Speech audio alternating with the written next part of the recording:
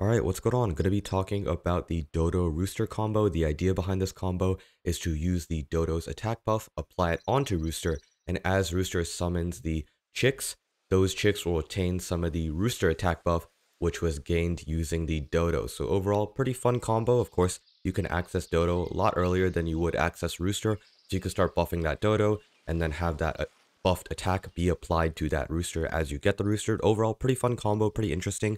So yeah, like, subscribe, and uh, yeah, enjoy.